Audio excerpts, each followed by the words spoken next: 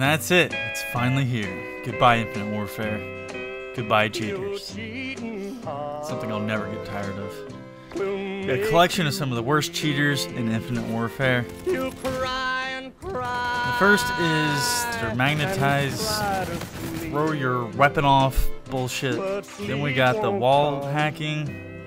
You can always tell that whenever you hear the pew pew pew pew pew. It's them shooting from around the back of the walls on the inside. Get people in UAV right underneath me. I'm looking there. Nobody's there. Nope, they're over in this wall.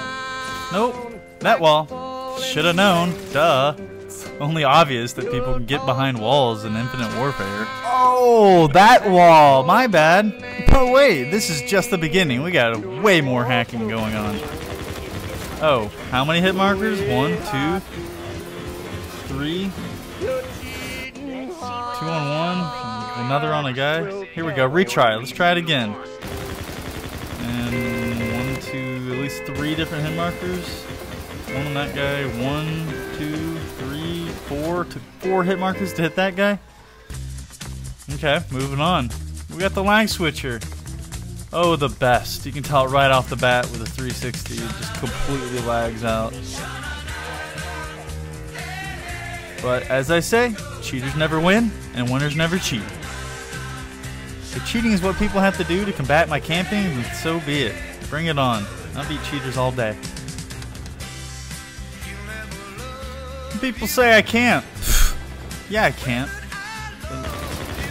Be fooled not. I rush. I rush to get to my camping spot. So if you in my way, I'm gonna run through the whole team to get there. Boo, yeah. Take a dump all over your lag switch.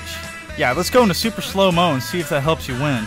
Set up my Cryo mine, set up my trip mine. I'll be good to go for this little camp spot back here. Should be pretty much invincible. Except we got a lag switcher and T minus three, two, one.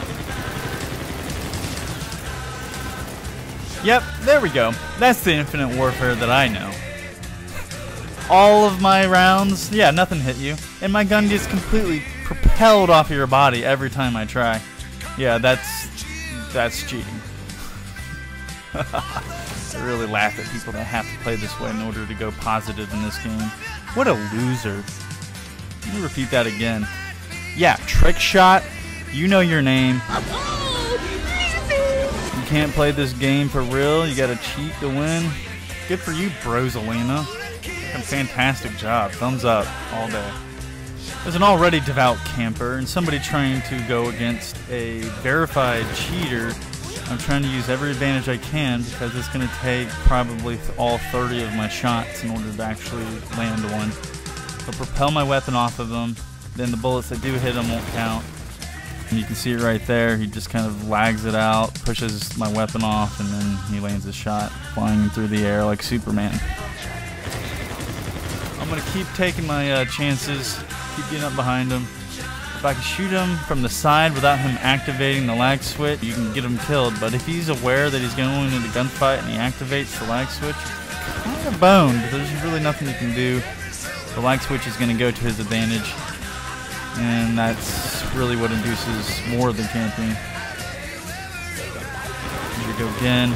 Pushes right by me. He should have been there, buddy lag, so he's actually like five, ten seconds ahead of me. There's really nothing I can do about it, so I just go super positive. And here we go, 97 all. Getting close. Oh, there it is. Win goes to Camper. Camper, more advantageous than cheating. All day, every day in WW2 and Black Ops 3 and every Call of Duty that's ever existed. Cheat, fine, go ahead. Try to cheat. I can still camp and I can still use strategy to beat you, so good luck with that. As always, thanks for watching. Please like, subscribe, check out all my old content, and check out all my new ones on WW2. Thanks. So long. I've got to be rolling along.